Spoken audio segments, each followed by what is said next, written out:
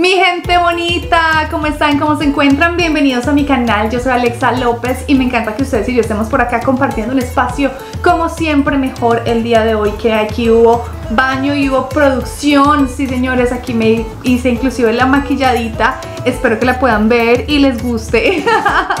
Esto no es así de todos los días, no crean, hoy es porque voy a salir un ratico a bailar porque me encanta el bailateo, el sandungueo, hay tiempo en la vida para todo hay tiempo en la vida para estudiar, para trabajar, para reaccionar, para divertirse, para hacer muchas cosas, para estar con la familia, para deportes, para hacer absolutamente todo lo que quieran. Así que yo siempre seré partícipe de esa idea. Sí, señores, sí se puede hacer de todo. Hay que organizar el tiempo y echar para adelante porque no nos queda de otra. Y en este día les traigo una video reacción bien chévere, bien interesante de esas que a mí me gustan pero eh, recuerden quedarse hasta el final porque hoy hay saludito, hoy hay saluditos, sí señores. Así que quédense muy pendientes de eso. Al igual que como siempre ustedes saben, aquí en la descripción les dejo el link original a los que reacciono para que vayan a los canales y les dejen mucho amor, se suscriban. Al igual que también dejen ese amor por estos lados. Denle un like a este video, suscríbanse a mi canal, activen la campanita y no se olviden de dar una pasadita a mis otras redes sociales, mi TikTok, mi Instagram y mi Facebook. Así que sin más, a lo que vinimos, vamos hagámosle este tema, me encanta, esto se puso caliente, esto se puso interesante y es que ya tuve la oportunidad de compartir con ustedes dos video reacciones diferentes acerca de este tema y es acerca de el monacho, del penacho, el monacho es un muñeco, eso es otra cosa, del penacho de Moctezuma. Así que ya sabemos que por ahí estuvo también el presidente Andrés Manuel enviándoles una carta a Austria. Tengo también esa reacción por ahí para que vayan y la vean y digo, ay, no, no, no, no, no, qué pena, qué vergüenza ajena. No, no, no, no, no, terrible, ole. Pero ni con toda la carta han aceptado y han aceptado devolver, no han devuelto el penacho de Moctezuma a México, que obviamente está relacionado únicamente con la cultura mexicana, con la cultura ancestral. Y nada, o sea, esta vaina todavía la tienen allá y ponen una excusa ahí toda ficti de, oh no, es que no queremos que se, se dañe porque el transporte va a estar muy difícil y esa es la razón por la que no lo devuelven. No, no lo devuelven porque no tienen nada más interesante que mostrar en sus museos y por eso no lo quieren devolver. Digan la verdad, así es, porque ni siquiera tiene nada que ver con la cultura de ellos, pero bueno, estos temas ustedes ya saben que me generan demasiadas emociones, pero bueno, empecemos este video en donde mexicanos hackean a Museo de Austria en vivo uh, y bueno, a ver qué es lo que resultan haciendo, esto me emociona, así que hagámosle a lo que venimos, vamos. Muy interesante. Ay, Pepe. People no, sé. Pero esta nota, la verdad, son de esas notas que me encantan. Sí, está de interesante. hackeo, de irse contra el sistema sin ser violentos, ¿verdad? Porque una cosa es irse contra el sistema siendo violentos y otra cosa es hacerlo de manera inteligente. activismo, activismo le llaman, ¿no? Ajá, exactamente. Este es por parte de unos mexicanos que se llaman Sebastián Arrechedera y Yasu Aranguena que iniciaron un plan que se llama Audioguías de la Verdad y fueron al museo en Viena, en Austria, donde tienen el penacho de Moctezuma, que hace poco dijeron que no era de Moctezuma, que era un sacerdote, quién sabe. La cosa es que se ha llamado y se llamará, se continuará llamando como el penacho de Moctezuma y que México lo ha pedido muchísimas veces que lo regresen y que siempre dicen, eh, pues es que no aguanta las vibraciones, se va a deshacer, eh, ustedes, ustedes sí la agarran y pues México tampoco quiere obviamente no quiere echarlo a perder, entonces nos hemos quedado con las ganas de tenerlo aquí en México. No va a pasar. Pero bueno, la cuestión es que estas dos personas decidieron, ya ven que cuando vas a los museos hay unos audios, ¿no? Donde te van diciendo eh, cuadro por cuadro, según el idioma que tú tengas, este, de qué se trata eso que tú estás viendo, ¿no? Exactamente, y bueno, pues la, la idea fue agregarle, ¿no? Unos audios, pero con la verdad. Y para esto entrevistaron, pues, o 嗯。Captaron la voz, ¿no? De pues un representante, ¿no? De, de este, pues de esta cultura, ¿no? Exactamente, al representante aquí en México de la Asociación Civil, Yanquink Anahuac, que es, eh, híjole, el nombre está bien complicado. Yoconoshetlet Gomora es el líder de los descendientes aztecas y él en el audio, digamos, revolvieron, compraron el mismo tipo de, aparato ¿no? que utilizan y los han ido revolviendo con los verdaderos del museo y los del museo no se han dado cuenta. Ellos van porque dicen que a oferta los mexicanos podemos entrar de gratis. Ah, mira, nomás. Mira nomás, no vamos a llevar. Nos pagan el boleto mínimo, ¿no? mínimo. Este. No podemos verlo en nuestro país, pero no nos cobran la entrada. Ah, pero bueno, en el audio se escucha, hola. Te doy la bienvenida en esta audioguía de la verdad, una versión de la historia contada por los herederos de los que sufrimos la invasión europea. Mi nombre es Shonoshtetlet Gomora, soy descendiente azteca y he dedicado mi vida a que la sagrada corona de nuestro emperador Moctezuma vuelva a nuestra tierra. Hoy 13 de agosto del 2021, un día de luto para México porque se cumplen 500 años de la destrucción de Tenochtitlán a manos del invasor español Hernán Cortés. Y así le sigue, ¿no? Y va contando la historia desde la perspectiva de los aztecas. Bueno, eh, aquí está un tema, ¿no? Muy, muy interesante. Dice eh, Gomora, explica a lo largo de 8 minutos aproximadamente que el penacho en realidad es una corona y su nombre real es Copili Quetzali, lo cual significa poder espiritual. Dice, no creemos en la versión ni en las supuestas verdades y hechos de tantos, de tantos años. Dice, es una de las frases finales en el controversial audio. Una forma pues de ser activista, ¿no? Creativo, ¿no? y, pues yo creo que esto le dará al mundo eh, una perspectiva diferente de pues de las realidades que te quieren plantear de repente desde este tipo de museos que pues básicamente es el museo del conquistador, ¿no?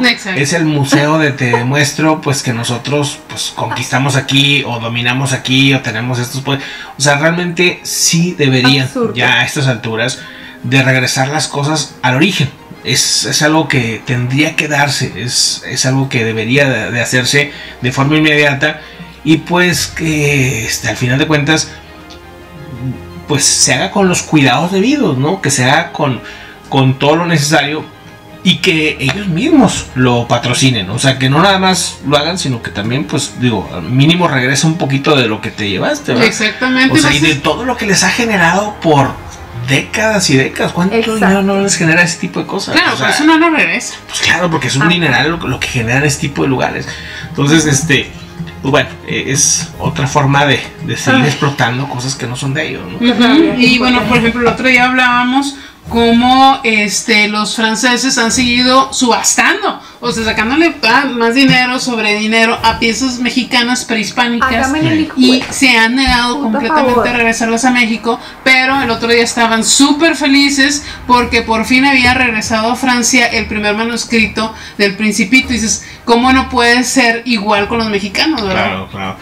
Pues bueno, y con muchos países africanos y latinoamericanos, o sea que, pues digo, ahí, ahí nos, nos deben cositas por ahí. Este, vamos a otro asunto importante. dice, dice Tiba, seguramente ya lo rompieron, por eso no lo quieren regresar. sí, hace la copia nomás de... Oigan, pues nada, o sea, este tema de verdad que me genera impotencia, me indigna, me parece impresionante que ellos sigan ahí con su carota eh, en, Austria y simplemente se paren en la raya y digan, no, no se los vamos a devolver. O sea, pero bien hecho. Estuvo muy bien este acto que hicieron, de llevaron estos audios, los colocaron allá en el museo para educar a la gente y explicarle realmente a qué cultura, a quiénes le pertenecen y lo que significa. Porque claro, obviamente una de las razones por la cual no la quieren devolver es por la platica, porque les produce dinerito, pero más que eso porque pues ellos a nivel ancestral y cultural que tienen. ¿Cuáles son sus, ¿Cuál es su historia? ¿Cuáles fueron los imperios que hicieron sin tener que robar y saquear? Cuéntenme, porque pues que yo sepa, lo único que tienen es todo lo que llegaron a imponer a los diferentes países en Latinoamérica y las matanzas y todo lo que expropiaron, saquearon y cubrieron. Obviamente, vuelvo y repito, fueron otros tiempos, la gente de hoy en día no tiene nada que ver con eso, no tengo nada contra los seres humanos de ningún país o de ninguna etnia en específico, de ningún origen, estoy hablando de los que están allá arriba y que toman las decisiones. Siempre voy a hacer énfasis en lo mismo. Es igual cuando hablo de lo que pasa entre Estados Unidos y entre Rusia y entre cualquier país en el mundo. Cuando me refiero a eso, me refiero a las personas que están arriba, ese pequeño grupo de personas que toman las decisiones importantes. La gente del común somos seres humanos que estamos aquí todos en la lucha al fin y al cabo, pues ya si cada quien decide no ser eh, racista o comportarse de cierta manera, eso es otro tema pero como dan excusas de que, ah, no, es que no lo van a poder transportar, es que se va a romper, se va a dañar. El presidente Andrés Manuel les envió una carta y la carta, incluso en esa otra video reacción que hice acerca de este tema, que los, los invito para que vayan y la busquen, eh, él les dice algo así como, oigan, pues les estoy diciendo de manera muy amable que por favor nos devuelvan el penacho de Moctezuma porque no tiene nada que ver con la cultura de ustedes. Y a lo último dice, pero venga, todo bien, si usted no me lo quiere devolver completamente, pues préstemelo aunque sea, ¿no? O sea, en vez de los otros decir, oiga, de verdad, discúlpenos, qué pena. Aquí es como cuando usted va y se roba algo y entonces usted tiene que ir a decir al ladrón, oiga, venga, ¿será que usted me lo puede por lo menos prestar? Que lo necesito porque, no sé, tengo, eh, se cumplen ciertos años de X celebración y usted me lo podría prestar. O sea, ¿ustedes se imaginan que eso pasará así en la vida real? No, al que se tiene que sentir avergonzado y decir aquí está y discúlpeme, son los que se lo robaron, porque el presidente nombra y dice esa palabra así tal cual, robaron, se lo llevaron, se lo saquearon y no solamente, no solamente el penacho, sino muchísimas otras cosas que ellos mencionaban acá y el presidente también les explicaba muy claramente es que ya contamos con la tecnología para transportarlo, contamos con los profesionales que están encargados y que pueden hacer esta misión correctamente. Además, si se dañara o no, ¿qué chingados le tiene que importar a Austria? ¿Es su penacho? No. Entonces, ¿por qué les tiene que importar? No se preocupe, mi hijo. Usted es lo que le pertenece al dueño y deje que él solucione como tiene que solucionar que no va a pasar nada, pero que sí, supuestamente bajo su preocupación y bla, bla, bla, no lo quieren devolver. A mí me indigna, pero me parece muy bien que los hayan puesto en su lugar a las buenas o a las malas, pero que les hayan hecho. Nadie se vio afectada, simplemente están educando a la gente por medio de un audio, porque si a ellos no les da pena robarse en la cara algo, seguirlo manteniendo allá, siguiendo haciendo dinero de eso, porque a los mexicanos eh, les va a dar pena o se van a sentir avergonzados? de ir a educar a la gente por medio de un audio. Así que un aplauso muy bien. Hacía lo que tenían que hacer. Lo apoyo, me parece súper bien. Pasemos a los saluditos. En esta ocasión quiero darle un saludito a Salomón Pérez. Dice, eh, señorita, no me ha saludado en sus videos y soy un, un fiel seguidor. Pues amigos, díganme quién quiere el saludito, por aquí estaré. No se preocupen, gracias Salomón por los comentarios y por el apoyo. También tengo por acá a Juan Antonio Mendoza. Dice Alexa, siempre te ves hermosa, no ven que eres la youtuber más linda. Con respeto que mereces, no olvides mandarme un saludo. Él me saluda desde Tijuana, me encanta. Gracias por tu buena vibra, por tus comentarios. Saludos para él y para todas las personas que me ven desde Tijuana. Y por último tengo a Winder Santos. Me dice, te oigo hablar y me derrito. Ay, gracias. Espero que digan lo mismo cuando estoy aquí toda brava con mis emociones. y eh, él me habla desde Perú. Ay, me encanta, me encanta. Un saludito muy especial para todas las personas de Perú. Ahí estamos cerquita de Colombia. Somos ahí prácticamente... Eh, eh, primos, hermanos, vecinos, así que me parece muy chévere, me encanta. Ya saben que si ustedes quieren un saludito, lo único que tienen que hacer es darle un like a este video, suscribirse a mi canal y activar la campanita para que no se pierdan ningún video. Recuerden también darse una pasadita por mis redes sociales, por mi TikTok, Instagram y Facebook. Eso ha sido todo por esta oportunidad. Ha llegado la hora de decir mi frase favorita. Ustedes ya la conocen. Mi corazón es mexicano, mi sangre colombiana. Aquí me voy a ir a bailar la frase. bueno amigos, eso ha sido todo por esta oportunidad. Pórtense mal para que la pasen bien en el buen sentido de la palabra. Chaito, chaito.